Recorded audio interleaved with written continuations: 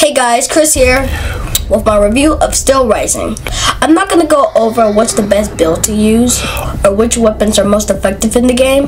The bigger YouTube channels have already done that.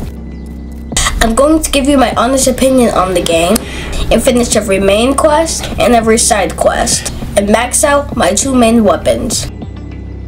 I had a great time playing Steelrising. I'm a big fan of Soul-like games, and those are promoted as a Souls-like game. However, I think Steelrising is more like a difficult third-person action adventure game. You see, Steelrising allows you to modify the difficulty.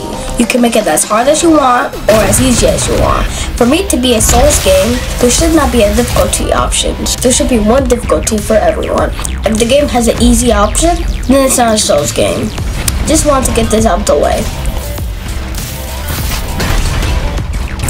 Rising can sit on an alternate French Revolution.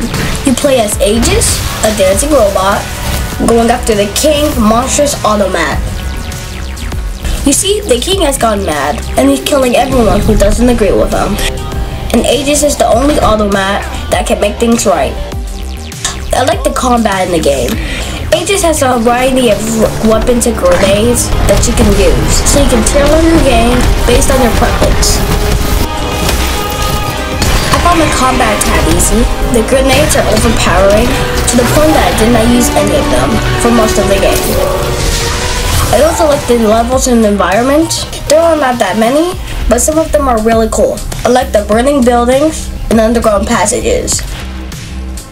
The bosses are just okay. There are a few cool looking ones, but there aren't many. It usually takes a while for, before you encounter one, and when you do, they are not as difficult. And if you use grenade, then the fight will be a cakewalk. The main issue that I have with the game is the level design. You'll get lost in the game because some of the environment looks the same and are confusing. Unlike most Souls games, you can jump and use some type of grappling hook that you'll find later in the game. So your path can be on top of a roof or in a well-hidden place, making it difficult to get your bearing, especially when you have to return to a level for the fifth or tenth time.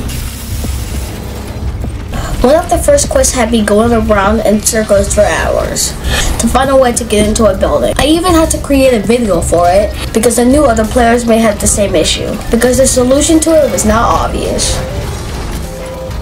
This issue will be your main problem with Steelrising, especially if you want to do all the side quests. It seemed like the developers knew this because at some point in the game, you can get a compass to point you in the right direction. I wish they had added more visible landmarks to make it easier to find your way, instead of giving you a compass. But you don't have to use it. Besides all of that, I had a great time with Steelrising, and I'm open to purchase any DLC that may come later. If you're looking for a difficult Souls-like game, while you wait for Elden Ring DLC, Steelrising is not it. But if you're looking for a decent third-person action game, you should give Steelrising a try. Thanks for watching. Chris Video Streams out. Peace.